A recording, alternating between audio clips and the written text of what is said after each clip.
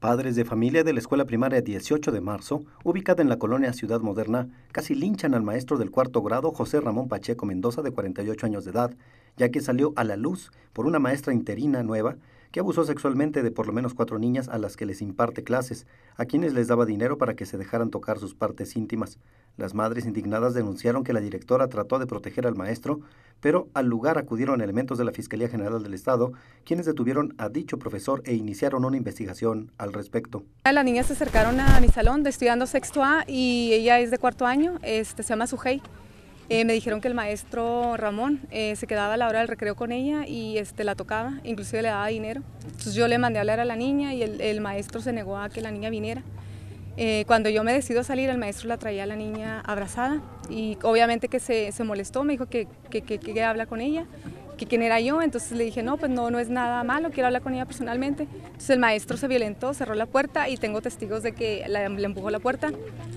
Eh, el problema es de que cuando yo hablé con la niña, este, delante del maestro, ella dijo que sí, que sí la tocaba, le tocaba sus partes y le daba 12 pesos cada vez que lo hacía. Yo hablo por primera instancia con la directora, la directora me dice que va a venir, obviamente que no viene. Eh, después el maestro agarró sus cosas, las estaba eh, subiendo en el, en, el, en el carro y fue como me vi con la necesidad de hablarle a la inspectora. Obviamente que se molestaron conmigo los maestros y la, la, la directora que porque no respeté los protocolos. Entonces vino la inspectora, estuvieron hablando y de cierta manera no querían hacer nada con la niña y yo sugerí que la canalizaran con el psicólogo a la niña para ver quién decía la verdad. Este, y aparentemente eso es lo que iban a hacer, el, dos niñas. Una se llama Daniela, la otra niña la hora del recreo se acercó conmigo llorando y me dijo, dando que desde quinto año eh, las tocaba el maestro. No sé, solo sé que tiene como tiene 48 años de maestro, eh, inclusive se va a jubilar y él mismo me pidió que no lo perjudicara porque ya se va a jubilar y la verdad pues no lo estoy perjudicando, simplemente de que si él tiene la culpa pues que, pague, ¿no? Pues que sí, que todo el peso de la ley, si esta persona tuvo que ver con todo esto pues que pague. Lo pudieron llevar, parece ser que están esperando a los ministeriales, es todo lo que yo sé, porque no me he podido acercar a la dirección, porque obviamente que es un rechazo total.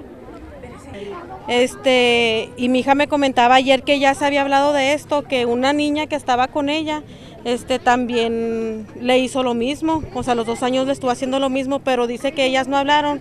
porque tienen, tenían miedo, tenían miedo, entonces,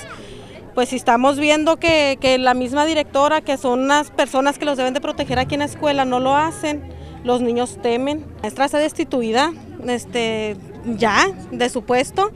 Y,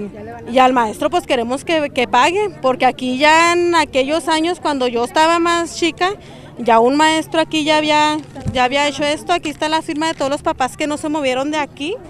de a la hora creo que la niña pidió ayuda y los papás se dedicaron a levantar firmas, por ahí creo que anda otra hoja.